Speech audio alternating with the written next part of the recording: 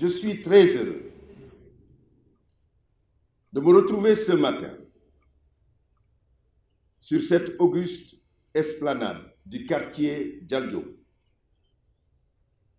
témoin silencieux des belles pages de l'histoire glorieuse des armées sénégalaises, pour présider la cérémonie d'installation du général de corps aérien Biram Diop dans ses nouvelles fonctions de chef d'état-major général des armées.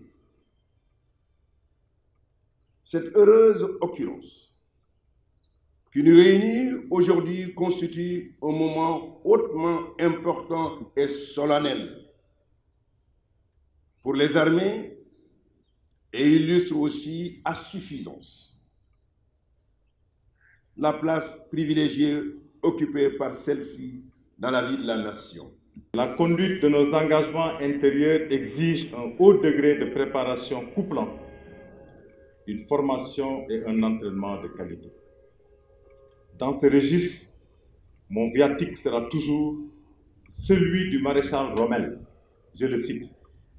Le meilleur cadeau qu'un chef puisse faire à ses subordonnés est de leur offrir un entraînement de première qualité. Fin de citation. Mon général, je sais que vous mesurez avec justesse l'ampleur de votre tâche.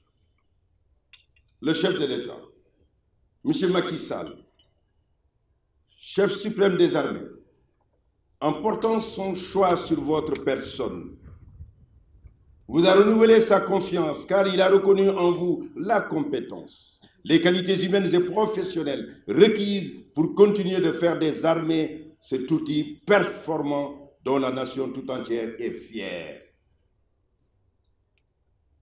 Pour vous avoir côtoyé, je suis animé de ces mêmes sentiments et demeure convaincu que vous serez maintenu les armées sur la trajectoire d'excellence tracée par vos illustres La violence aveugle qui plane sur le Sahel, sur fond d'instrumentalisation des identités communautaires, de criminalité organisée et de trafic illicite de toutes sortes, semble narguer les frontières poreuses de nos pays. Telle une ceinture de feu, elle se referme inexorablement sur les États. Cette situation nous interpelle doublement. D'abord sur notre capacité à demeurer un îlot de paix, mais surtout sur notre véritable place dans la recherche et la mise en œuvre de solutions collectives sous-régionales efficientes, conformément à notre tradition diplomatique de paix et de solidarité agissante.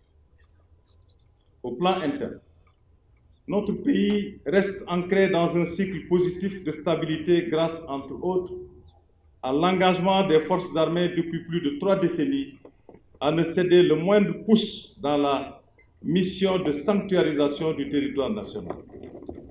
Parallèlement, la volonté des autorités de répondre aux défis socio-économiques liés à la sécurité humaine se matérialise de plus en plus à travers des politiques publiques d'envergure, donnant ainsi de réelles chances à un retour définitif de la paix dans la partie méridionale de notre pays. Toutefois, dans un proche avenir, le Sénégal amorcera une nouvelle étape de son destin grâce à l'exploitation de ses importantes ressources naturelles de gaz et de pétrole. Cette perspective prometteuse porte en effet en elle-même ses propres exigences dont la plus pressante demeure la préservation d'un environnement stable et sûr, sans lequel aucun, aucun développement harmonieux n'est possible. Tout en consolidant les importants succès déjà engrangés, mon ambition est de placer les armées dans des conditions optimales de performance au triple plan organisationnel, opérationnel et logistique.